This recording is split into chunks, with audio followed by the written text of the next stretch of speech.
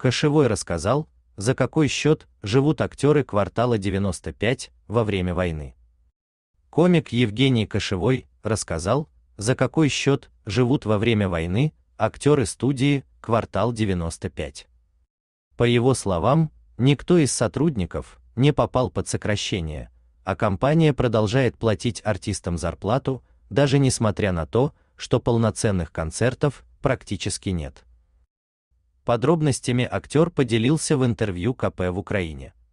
Квартал всех своих сотрудников поддерживает, мы никого не сократили во время войны. Выплаты производятся за счет доходов прошлых лет.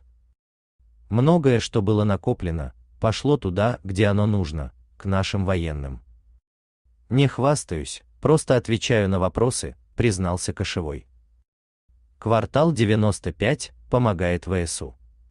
Также Евгений рассказал, что артисты активно помогают ВСУ своими благотворительными концертами. Он сообщил, что машины на фронт актеры покупали за свой счет.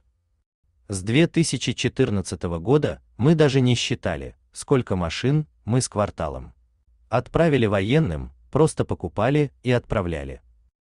Никто не думал, что их нужно считать и перед кем отчитываться. Мы же покупали их за свой счет. Только последнюю машину, которую мне недавно пригнали из Латвии, я купил, в том числе за донаты своих подписчиков.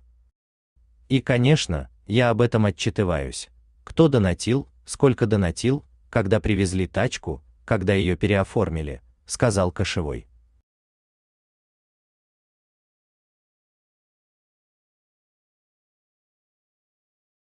Интересно, что дети Кошевого не уехали за границу, а учатся в Киеве. Они, как и все остальные, спускаются во время воздушной тревоги в бомбоубежище. Да, девочки ходят в школу в Киеве, учатся офлайн. В их школе есть бомбоубежище, они туда спускаются во время воздушных тревог. Очередной учитель собирает всех и ведет к бомбоубежищу. Причем там два бомбоубежища, одно для младших школьников, другое для старшеклассников.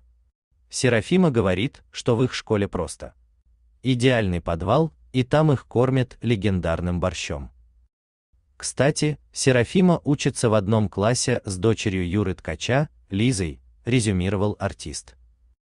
Напомним, что ранее квартал 95 высмеял священников РПЦ в смешном видео. Кстати, дочь Елены Кравец в стильной куртке устроила яркую фотосессию на крыше отеля.